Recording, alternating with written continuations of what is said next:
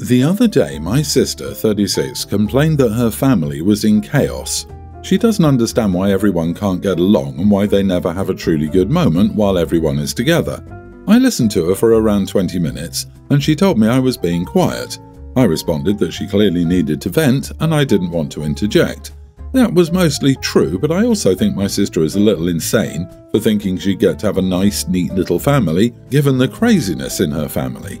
For context, my sister had her first child at 18, my nephew Shane, 18 male. She dated Shane's dad for a while and found out when Shane was one that her boyfriend had another girl pregnant and so they broke up. My sister and the other mother both got arrested for fighting, and she swore she would never let that woman or her child near Shane. She got married at 21 and had two more kids Katie, a teen female, and Rye, a young teen male.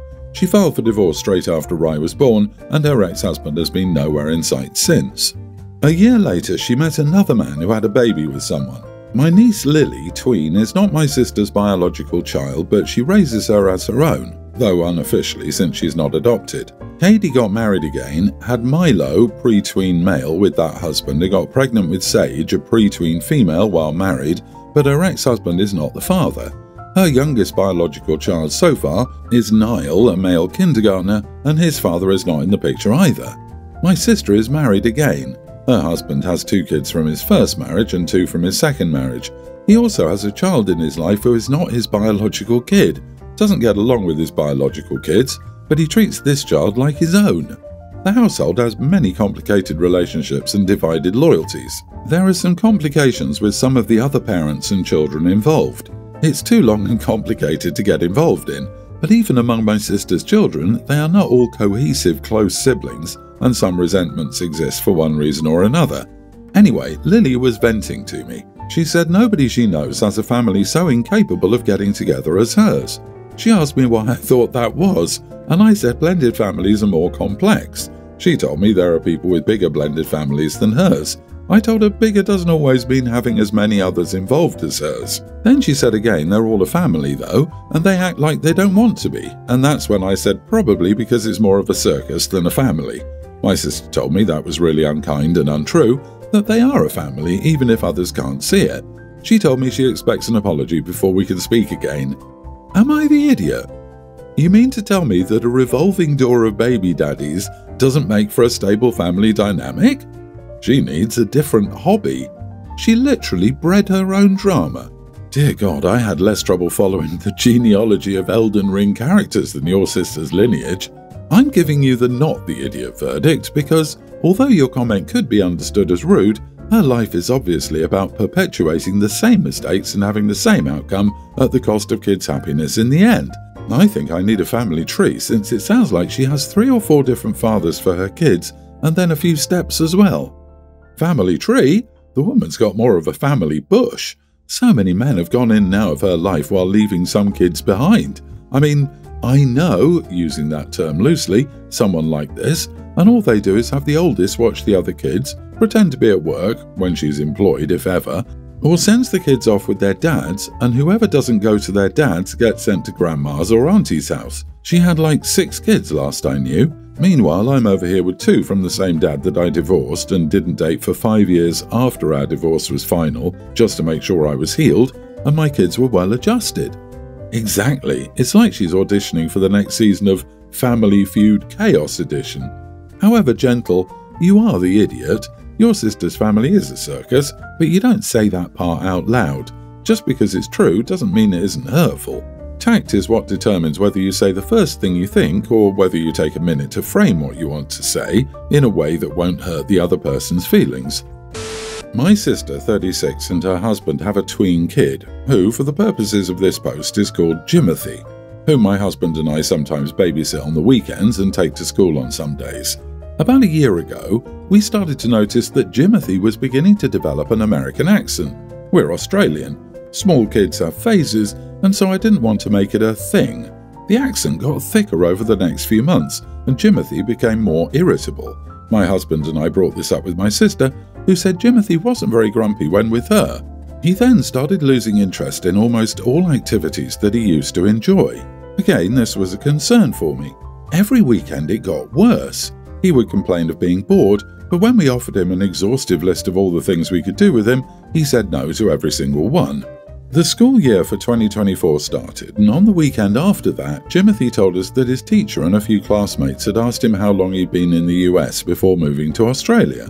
At this point, his American accent was indistinguishable from a general American's. My husband and I were really wondering what was happening. Then it was Jimothy's birthday party. His family was invited, including me, and so were all his friends. This was the moment that made me realize to some extent what was going on. He was on an iPad scrolling through some kind of short form content that I didn't recognize. His friends wanted to play with him, but he didn't notice they were there. People were giving him presents, and he acted like he was inconvenienced by having to turn the iPad off. Never before my nieces or nephews reacted like this upon me, giving them money and delicious treats. I told my sister that something was going on, and that Jimothy was obviously not in a good way. She seemed very offended that I was questioning her parenting choices, as she put it, and she decided that my husband and I babysitting Jimothy had to stop. The next time I saw Jimothy was very recently, at my niece's birthday party, different parents. Jimothy was utterly glued to the iPad. He was noticeably skinnier, which I suspect was because he was forgetting to eat in favour of iPad time. And when anyone went over to talk to him, he almost instinctively pushed the screen towards his body so nobody could see. I had to talk to my sister and her husband. I told them what I thought that a year ago Jimothy was an energetic child who got along really well with everyone, and now he's reclusive, and it's obvious from just looking at him that he's skipping meals. My sister denied any changes in Jimothy's behaviour, but her husband did admit that I was right to some extent, and Jimothy's friends had stopped trying to hang out with him because he said no 100% of the time. I told my sister she was wrecking Jimothy's life by continuing to let this iPad stuff happen. She started shouting at me and I walked out of the party. Not the idiot, the kid obviously is deteriorating. I wouldn't be surprised for him to grow up with depression and anxiety when dealing with social interactions at school and at work. It's good that you and your husband care about Jimothy. At the end of the day, you tried to help by letting them handle the upcoming issues that will surely arise in the future. However, the accent is actually a weird thing to point out. It's not really an issue here. I don't think OP's problem is that the accent is American, it's that he spends so much time watching things that his entire accent is from another country. It shows that what he's watching impacts his development more than his family, teachers, and friends. Also, it clearly is part of a bigger problem, as now other people are starting to notice the issue. OP just picked up on the early warning signs. His immersing himself in his iPad isn't the cause, it's the consequence. It's the tip of the iceberg. My kids love their screens, but they also want to play board games, go cycling in the forest nearby, or jump in the pool. There's something else. There's something that causes this kid to focus solely on his iPad. You were right to have concerns. If you're truly concerned and your sister keeps a blind eye to the situation, you may want to call the social service. It will hurt your relationship with your family, but it's better than letting this kid continue to suffer, because he is suffering. I'm surprised that more people aren't seeing this. Such a drastic change over a year is very, very concerning. My mom and Harry have been married for three years. They have two under two together, and then there's me, a nearly adult male who isn't Harry's kid. Harry comes from a huge family. His parents are still alive and he has five siblings. They have something like 16 kids between them and their spouses, and all of them are coming to stay at our house for two weeks starting Saturday. I found this out Sunday night. Harry said some of his relatives are bringing tents and others are bringing camp beds and they can all fit. But they'll be here for two whole weeks and a bunch of them will also be sleeping inside. Harry is so excited and my mom is all hyped up for it too. She isn't close to her family, so she's looking forward to having family around. I personally can't wait for them to be gone. I hardly know any of them, and even though they're technically family by marriage now, I don't know if I'll ever consider them my family. My mom pulled me aside yesterday and told me I wasn't acting excited, and she couldn't understand why because she thought I'd want to get to know my extended family. I told her that many people who I don't know or care about are coming to stay and it's not going to be comfortable. I said a day would be a lot, but two whole weeks sounds like a nightmare to be stuck with Harry's huge damn family. My mom started whisper scolding me, saying they're our family too and that she expected me to be more eager to have them here. I told her I prefer to stay with a friend for two weeks, I said they'd even have an extra room to use for everyone. My mom said that was such a negative attitude to have. She told me I'd finally have grandparents, aunts and uncles, and some cousins. Don't I want that? I told her I'd rather be comfortable at my friend's home. Then last night, Mom told me the way I talked about our family wasn't okay, and that if I really wanted to go to my friend's house and if his parents were cool with it, I could, but she would be disappointed and still expect me to change my attitude. I was like, thank you, but Mom told me the way I describe being around Harry's family as a nightmare is not okay. Am I the idiot? Does your mother really expect his family to treat you like part of the family, given you're a recent addition at 17? To be the grandson and nephew now? These are not your family. It will never be your family. You are their son's wife's son. They are your mother's husband's family. She is totally delusional. Not the idiot. It sounds like your mom just wants to play happy families. Personally, it sounds like my idea of a nightmare. Not the idiot. It's totally inappropriate for anyone to tell you what you should think or feel. It would be one thing if your mom said, I understand that's how you feel, and I can see how this situation could be frustrating for you. But I'm asking you to give it a try for the sake of our family. That would be reasonable and respectful of her. That's not what she did. Her attitude suggests that your needs will be ignored during the two weeks that this massive family will be in your home. Sounds like a nightmare to me. An extra 28 people. I hope you have portable toilets and showers set up. Family is like fish. It starts to stink after three days.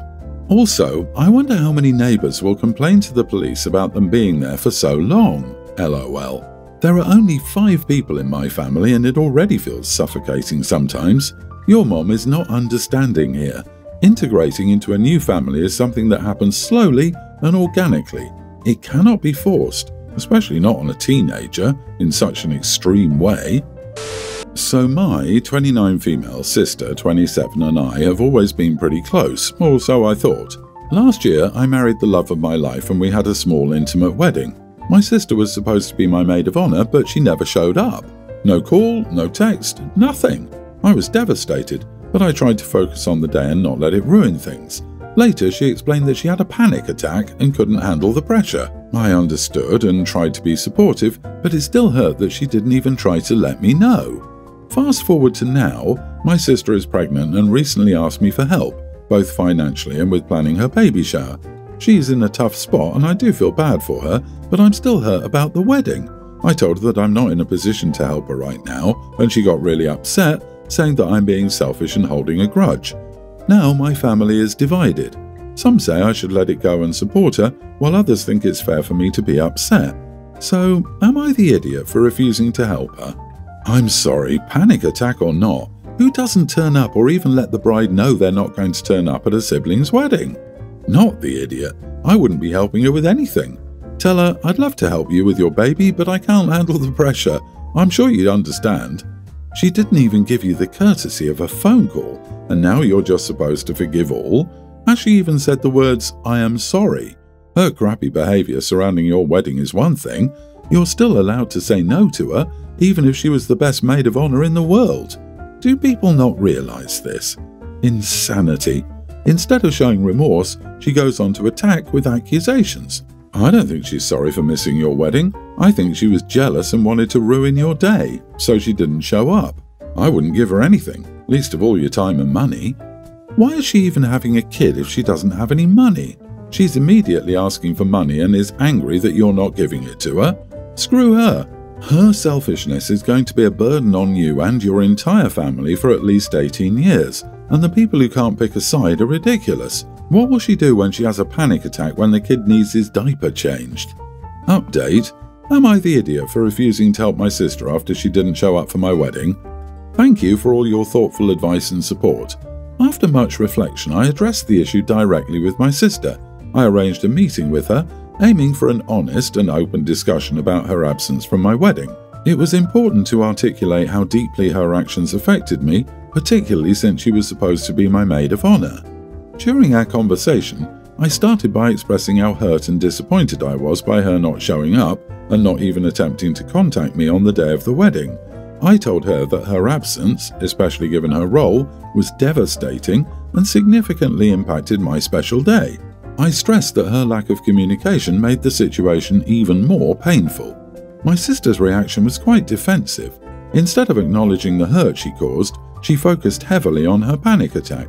She claimed that her mental health crisis was so overwhelming that she couldn't manage to reach out, and she expected this to be sufficient justification for her absence. She repeatedly said that I should understand how debilitating her condition was and suggested that I was being unreasonable for holding on to my feelings.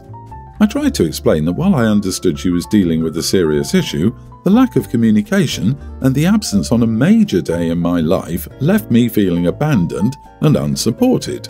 I emphasized that acknowledging the impact of her actions was crucial for moving forward and rebuilding our relationship. The conversation took a turn when my sister shifted focus to her current struggles.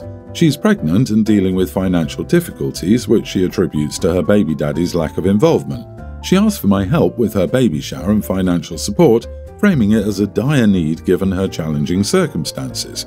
It became apparent that she relied heavily on others to make up for her baby daddy's shortcomings.